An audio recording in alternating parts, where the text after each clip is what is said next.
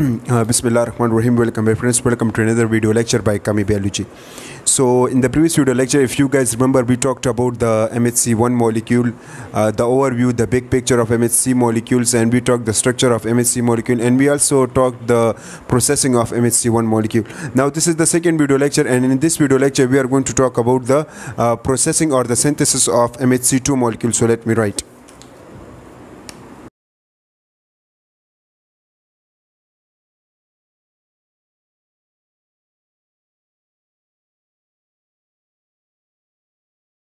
Now, how the MHC2 molecule are synthesized? For the synthesis of the MHC2 molecule, again we need the structure of the cell, and with the uh, within the structure of the cell, we need the cell membrane. We need a we need Golgi body, endoplasmic reticulum, and uh, we need a Golgi body, endoplasmic reticulum, ribosomes, uh, and uh, we need some other structure. We'll be talking uh, right now. So, first of all, what actually happened? We have a pathogenic bacteria. Let me start the lecture. So first of all we have a pathogenic bacteria. First of all let me draw the cell membrane here.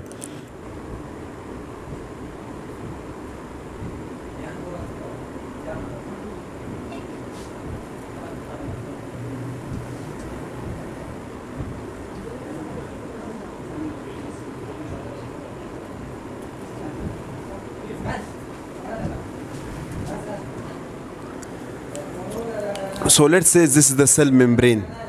And remember, we already talked that MHC2 molecule are always present in antigen presenting cell. So this is the antigen presenting cell. Let me write here. Presenting Cell.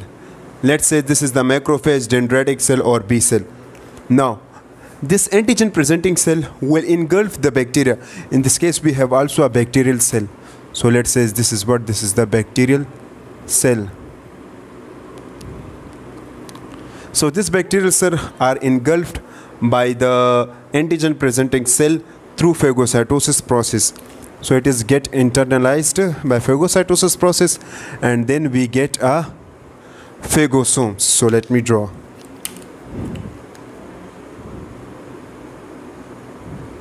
Now phagosomes is a combination of uh, uh, cell membrane and the bacterial cell. So we have what we have this is the cell membrane portion and this is the bacterial cell. Okay.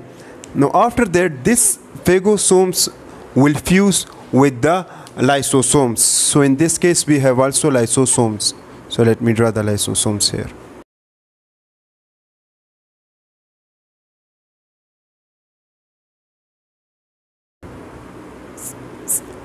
And they contain hydrolytic enzyme having the pH 4 so means it is acidic.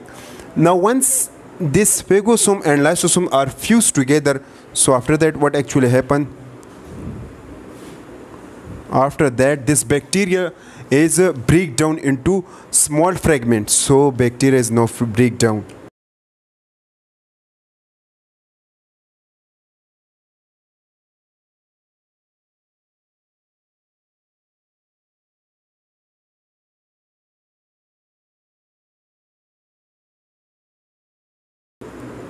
acid. Now, once the bacteria are break down into small components, after that we have another cell structure we call that endoplasmic reticulum. So let me draw.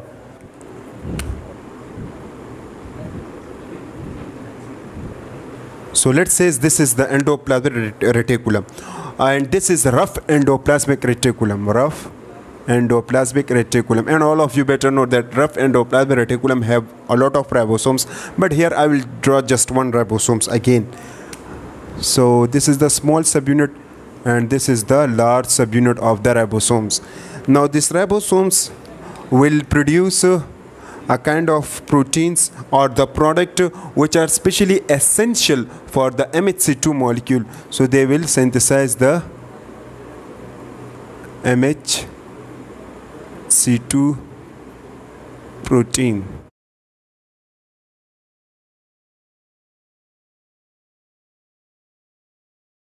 Okay, now this is the let's say this is alpha 1 this is alpha 2 this is beta 1 this is beta 2 okay this alpha 1 and alpha 2 having weight okay this alpha uh, subunit having a weight 35 kilo dalton. Similarly this beta 23 kilo dalton. Okay and when they are combined together so we get 34 and 23 then we get what? We get a 58 uh, kilo dalton complete mhc2 molecule. So this is 58 kilo dalton complete mhc2 molecule. After that we have also another protein. We call that let me draw here a protein this is another protein which can block the uh, binding site of MHC2 molecule. Okay? Now this is called now this protein is called as ID or CD74 protein this ID or CD74 protein will block this binding site of MHC2 molecule to prevent the antigen to bind at that specific area now after that uh, this MHC2 molecule are shifted and released out from the uh, endoplasmic reticulum. So this will be also released out from the endoplasmic reticulum. Now once it is released out from the endoplasmic reticulum, so then this molecule or this msc2 molecule will passes from the Golgi bodies. So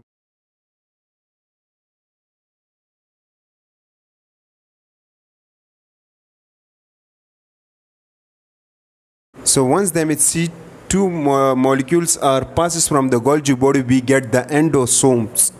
This is the we get the endosomes. Now inside the endosomes, we have what we have the uh, again we have the MHC2 molecule.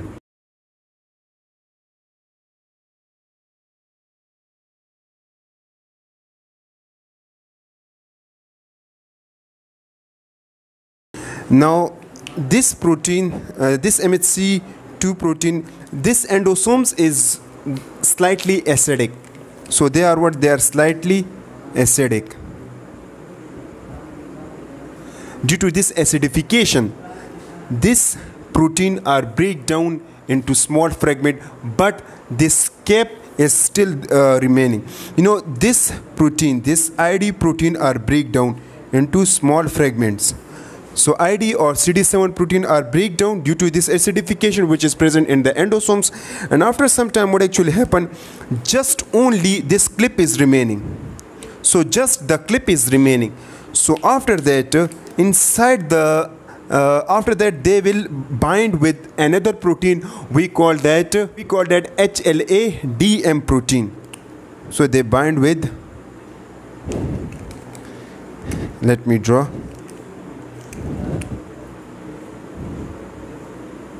this is the HLA-DM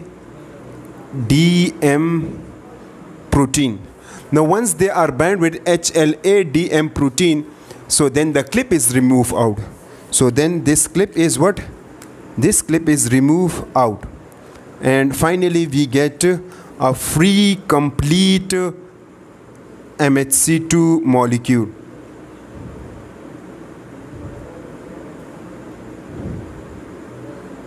So this is MHC2 molecule free MHC2 molecule complete free MHC2 molecule. Now after that this MHC2 molecule will fuse with this phagolysosomes. Now once they are fused with the phagolysosomes so the antigen or the fragments of the bacteria which is present inside the phagolysosomes are you know uh, shifted the specific antigen. In this case, the specific antigen are bind to this MHC2 molecule. So we get a specific MHC2 molecule. So let's say this is what this is the specific antigen which is bind. Now after some time, this uh, complex will you know uh, this complex will release or this complex will fuse with the cell membrane. So again, let's say this is the what? This is the cell membrane.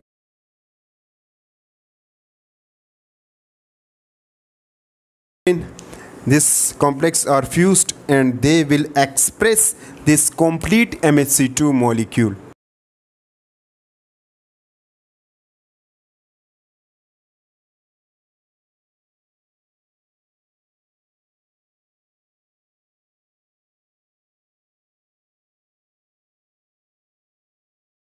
Okay now once these uh, uh, once this uh, MHC2 molecule are you know expressed from the antigen presenting cell so then they will also carry this antigen. Now this cells waiting. Now remember in the previous video lecture we talked that the cell is infected which is the nucleated cell okay in this case this is the antigen presenting cell this cell is not infected after some time this cell may be infected but usually it is not infected so after some time the this cell is waiting for the CD4 cell or we call that helper T cell. Now this cell is waiting for the helper T cell. Helper T cell, this cells will secrete a kind of cytokine which call upon the helper T cell. So at that case we also get the helper T cell. So let me draw the structure of helper T cell here.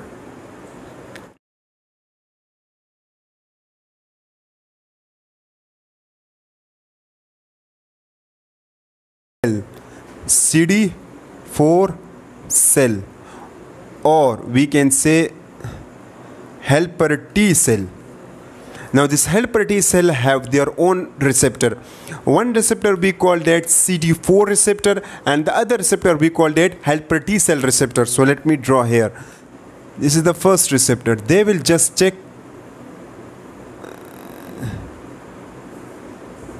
this is the first receptor this one receptor is called as cd4 receptor and they will just check the MHC2 molecule. Whether this cell representing the MHC2 molecule or not this is the job of CD4 has uh, receptor. After that there is another receptor we call that uh, T cell receptor helper T cell receptor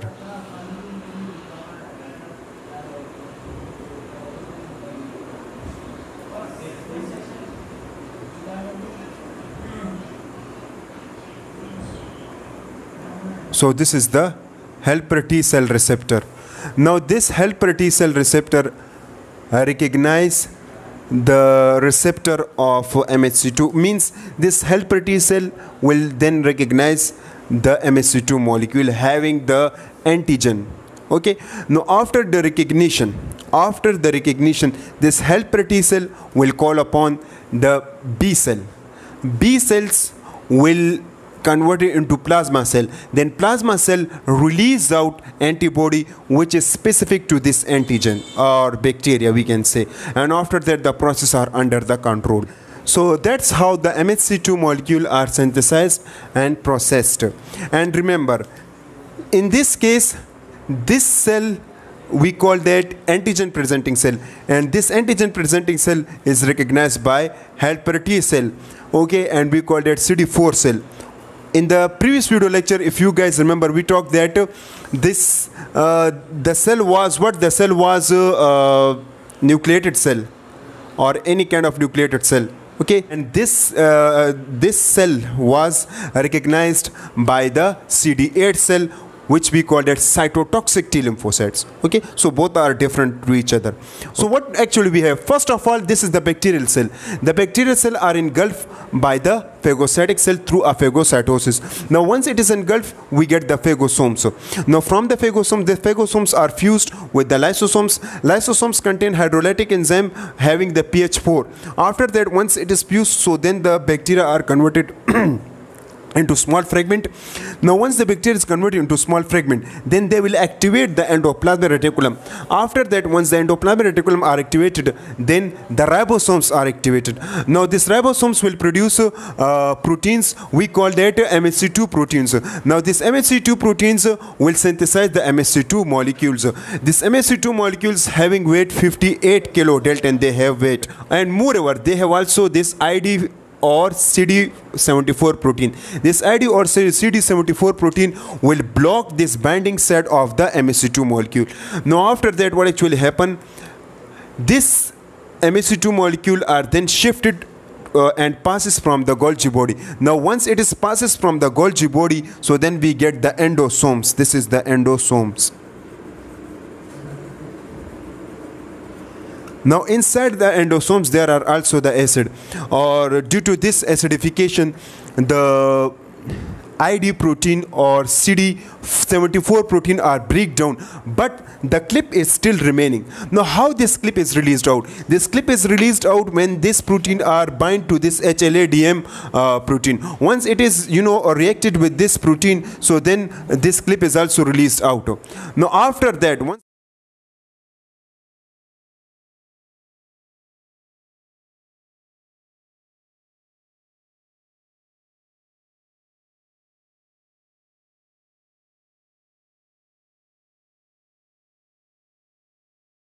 after that this complex are shifted to the plasma membrane and after that the MSC2 molecule are expressed to the plasma membrane surface. Now this this cells is waiting for the CD4 cell. CD4 cell are come closer and they recognize this antigen having their own receptor. We call it cd4 receptor and we call that helper t cell receptor. Now after some time these helper t cells are you know uh, this helper T cell will produce more helper T cells and after that we get the B cell and after that we get the plasma cell. Now from the plasma cell uh, plasma cell will release out the antibody. The antibody are specific to that uh, bacteria and after that the process are under the control.